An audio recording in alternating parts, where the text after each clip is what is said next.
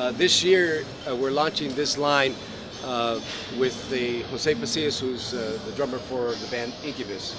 And um, there's a number of artists that come out of the woodwork that not only are musicians, but they actually paint. And uh, we've developed the technology that you've seen for a while now, the Skyndeep technology, where we infuse an image onto the mylar drumhead. And we started uh, infusing the images onto uh, the wood, and we started with the cajon, where it's actually uh, uh, infused into the wood, so it doesn't like it doesn't rub off. It's not going to like peel on your hands. It's not a label or anything like that. So as we move forward with with this, uh, there's going to be more artists in the artist collection, and uh, and different products that we're able to use this technology to put onto musical instruments. Now, on the cajon, it's uh, we're calling it the Art Beat Artist Series Cajon.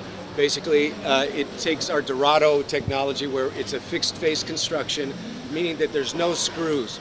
Uh, traditionally, the cajon was always a glued face. Basically, it was a box, right? And so we've gone back to that where it gives a richer bass tone. We have removable snares that are inside there where that if you wanted to remove the snare, it turns into what is traditionally called the Peruvian cajon.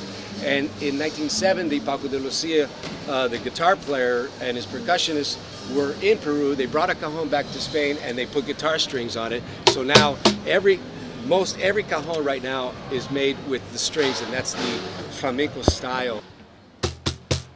So what you have is a bass sound here and the snare sound on the side.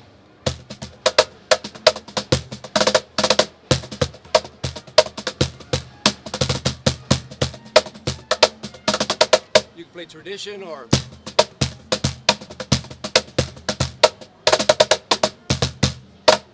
and pretty much that's the Art Beat Artist Series cajon.